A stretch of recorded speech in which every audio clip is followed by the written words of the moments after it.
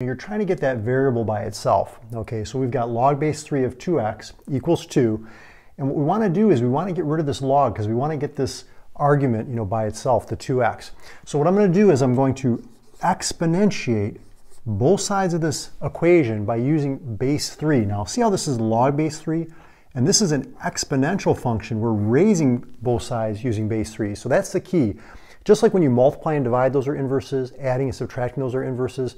In this case, taking the log and exponentiating, those are inverses, which means that they undo one another and we're left with 2x equals 3 squared, which is 9.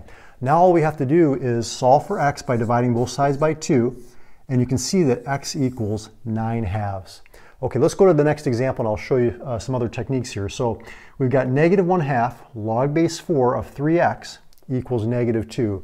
So the idea here, just like in algebra, you know how you try to get the variable by itself? Here we're going to try to get the logarithm by itself, okay?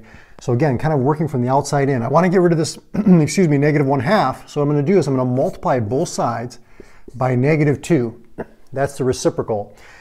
These are going to cancel. So if I do that to the left, I want to also do it to the right. So now what we're left with is log base 4 of 3x equals negative 4. Positive 4, because the two negatives cancel, right? Okay, now what we want to do is we want to get that 3x by itself. So what's the uh, inverse of taking the log base 4? Well, it would be to exponentiate both sides using base 4. And just like in algebra where we you know, do something to one side, we have to do it to the other to keep it balanced, right? So here you can see these are going to be inverses. They cancel. We get 3x equals 4 to the fourth, which is 4 times 4 times 4 times 4. That's 256. And all we have to do is divide both sides by 3, and we got it. So we've got three more examples. Now we're switching gears. We're working with natural log. See the ln here? Now they don't write it, uh, but it's understood to be base e. So this is log base e when you see the ln. Okay, so how do I uh, get the natural log by itself? Well, again, working from the outside in, we want to subtract 5 from both sides.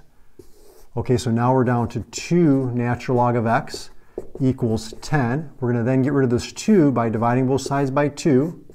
Okay, so now we're down to natural log of x equals 5. And then again, remember, when you see that natural log, that's really log base e. So what we're going to want to do is we're going to exponentiate both sides using that base e. And we get x equals e to the fifth. Now you can do e to the fifth on your calculator. Remember, e is just like 2.71 you know, to the fifth power, or you can use, of course, the e key, uh, the natural base e on your calculator.